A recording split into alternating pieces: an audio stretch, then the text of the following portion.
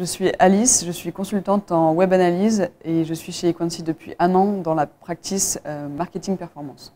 Depuis que je suis arrivée chez Equancy, j'ai travaillé pour euh, différents clients, donc euh, que ce soit dans l'automobile, le, tourisme ou le retail. Et j'ai eu à mener des missions de web performance.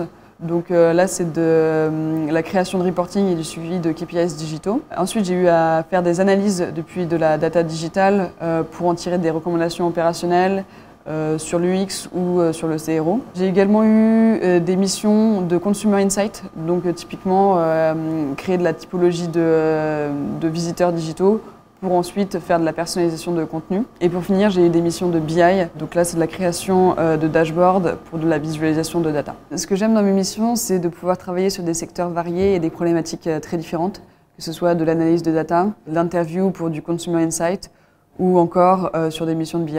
Ensuite, euh, ce que euh, j'aime chez Equancy, c'est d'avoir le, le, temps et les moyens de me former sur des outils régulièrement, que ce soit par exemple Adobe Analytics pour tout ce qui est web performance, que ce soit Content Square pour de l'UX, ou encore que ce soit Power BI pour, pour des missions de BI. Je suis arrivée chez Equancy comme stagiaire. Euh, j'ai travaillé pour un client automobile et j'étais dans une équipe d'Equancy qui était assez large. On a pu euh, assez rapidement me responsabiliser. J'ai eu à mener des analyses et à les présenter euh, aux clients assez rapidement.